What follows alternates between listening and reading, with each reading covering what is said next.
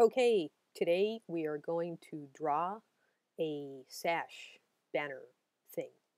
Um, this is pretty easy. It's going to be really fast. So I'm just going to start. The first thing I'll do is grab my rectangle tool and just drag out and draw a simple banner that I think will be long enough to hold the text I want to put into it. I usually choose a visible color or something that would be believable as a banner. Uh, it only needs to be whatever color will accentuate your text. Once I create that piece, I'm going to option click and drag because speed is the name of the game. And I just want to make the ends of the banner, these little things over here. So I'm going to select that.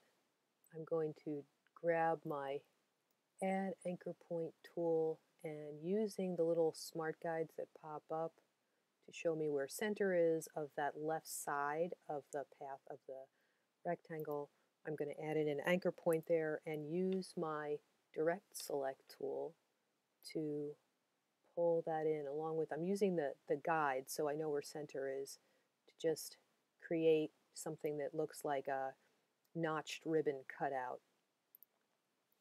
I'm going to, I created a gradient in here, so I'm going to select my gradient because I want to fill this with a gradient just to make it look a little more realistic.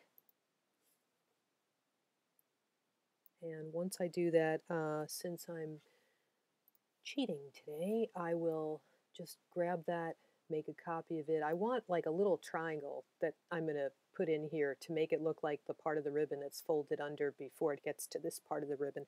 So I'm going to go back in with my delete anchor point tool, delete that anchor point and delete this one.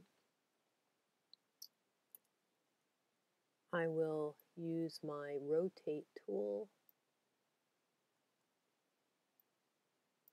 And again, this I'm going to have to shift this around a little bit. But I'm going to drag that into position. I'm going to right click, arrange, and send to back. I'm going to grab this and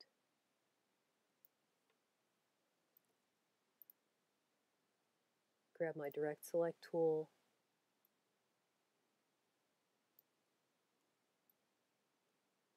And just make this look, I can zoom in so I can see what I'm doing. And I'm just going to make this look like it's the piece that wraps around under here. If I'm not happy with the way the gradient looks in that, I can always grab my gradient tool and change the direction of the gradient.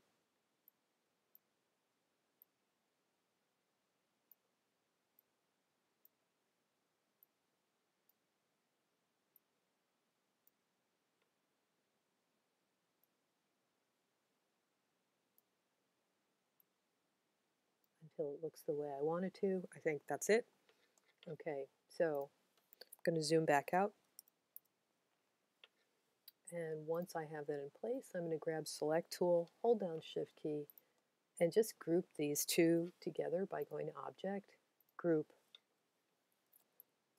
and send them backwards again. Once I've got that in place, I just want to make one on the other side that looks exactly the same. So rather than go through the whole shebang of rehab, at re rehaving, that's not a word, uh, having to draw that again, I will option, click and drag,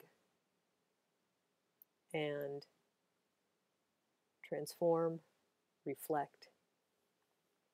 If I've got it the way I want it, I mean, I know I got to drag it into position, I'll just click OK and then slide that into place. And again, you see those pink lines pop up. I'm using smart guides to do this. Once I've got that in place, I want to do the warp. So I'm going to select the whole thing, go back to Object menu, choose Group, and now everything's grouped together. Then from Effects menu, I'm going to choose Warp, and the warp I'm going to choose for this is Arc.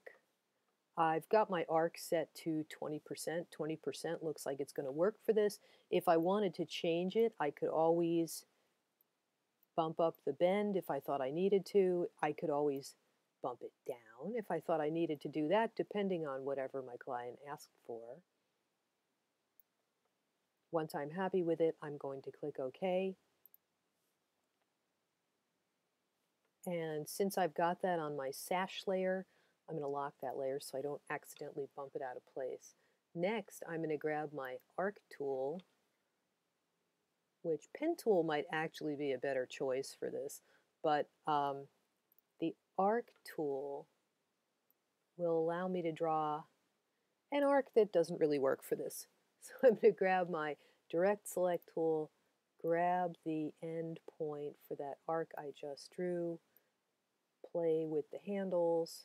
I'm only doing this to make a path to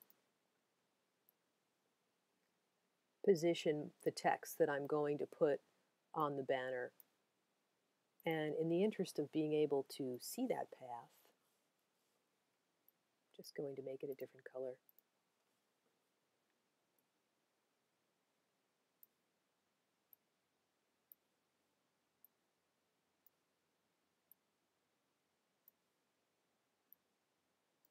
So I think that'll work.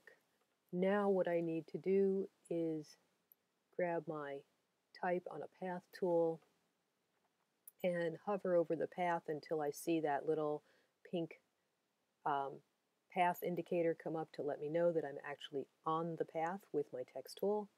Click and I've already chosen uh, paragraph align center so my cursor is right smack in the center of my banner and I'm just going to type my text.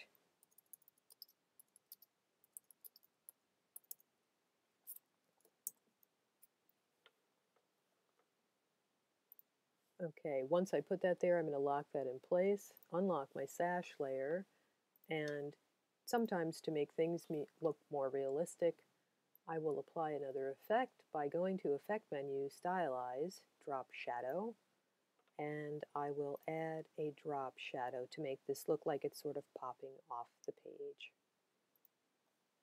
And that's it.